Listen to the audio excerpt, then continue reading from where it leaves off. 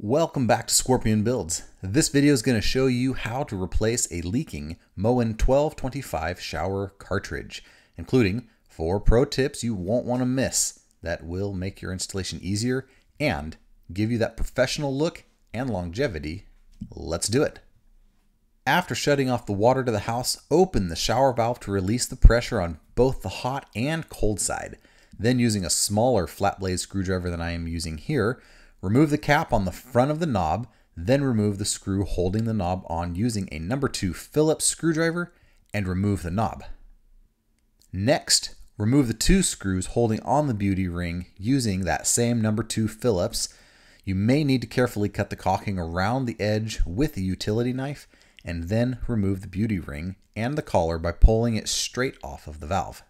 Under that, you'll find a small locking pin using a small flat blade screwdriver to gently lift it up.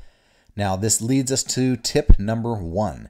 If the locking pin won't come out easy, then you might need to push on the cartridge to release any pressure on the pin, and then it should come out easily. Once the pin has been removed, you can pull the cartridge straight out using a pair of pliers. Now is a good time to clean up the valve, remove any caulking, and inspect the valve for any damage. Tip number two before installing the new cartridge, make sure to do a side by side comparison to make sure you have the correct cartridge. There may be some color differences, but the size and placement of the O rings should remain the same as the old cartridge. And before you install the new cartridge, we have tip number three.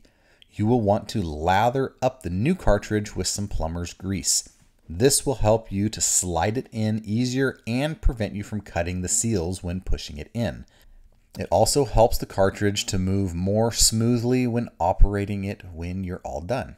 After you have the cartridge lubed up, you can go ahead and install it, making sure that the holes in the cartridge line up with the holes in the valve.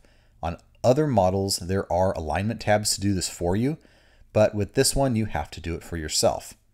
Now make sure the cartridge is fully seated, then install the old locking pin if you don't have a new one. Now we're going to install this new Danco tub and shower trim kit since the old one was pretty nasty and it will install the same way as the old one did, starting with the collar, the beauty ring, and then the handle.